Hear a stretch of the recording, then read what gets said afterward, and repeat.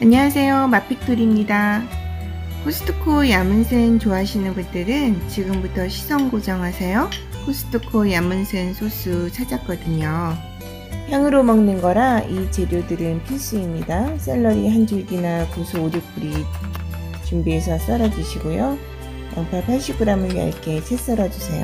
오이 2분의 1개는 반달 썰기 해줍니다 쪽파 3뿌리는 5cm 길이로 잘라주시고요. 당근 50g은 얇게 채 썰어주세요. 오징어 한 마리 이용할게요.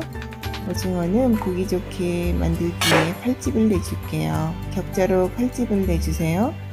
3cm 길이로 잘라주시고요. 다리도 먹기 좋게 잘라주세요. 달군 팬에 물을 넣지 않고 오징어와 냉동새우 100g을 넣어서 익혀줍니다. 비린내를 잡아주는 맛술 2테이블스푼 넣어주시고요.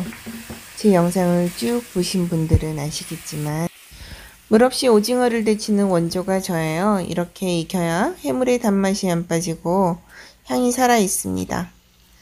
새우가 투명하고 오징어가 돌돌 말리고 통통해지면 다 익은 거예요.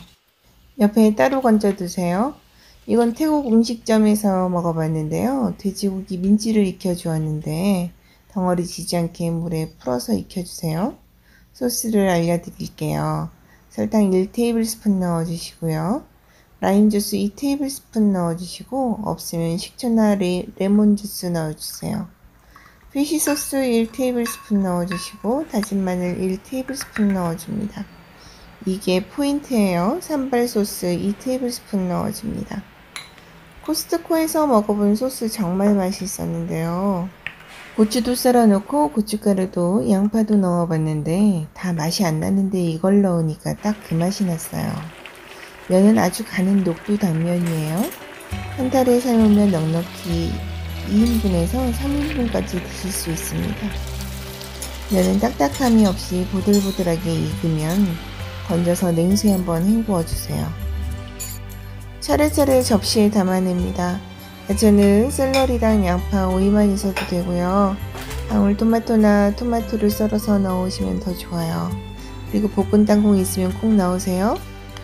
풍미가 좋아져요. 코스트코 얀문센 드셔보신 분들은 다 아실 거예요. 이 소스 얼마나 맛있는지요. 진짜 진짜 맛있으니까 태국 음식 좋아하는데 못 드셔보셨다면 꼭 만들어 드셔보세요. 왜냐면 지금은 안 파니까요. 재료들은 더보기란에 링크 걸어 드릴게요. 맛있게 드세요. 시청해 주셔서 감사합니다.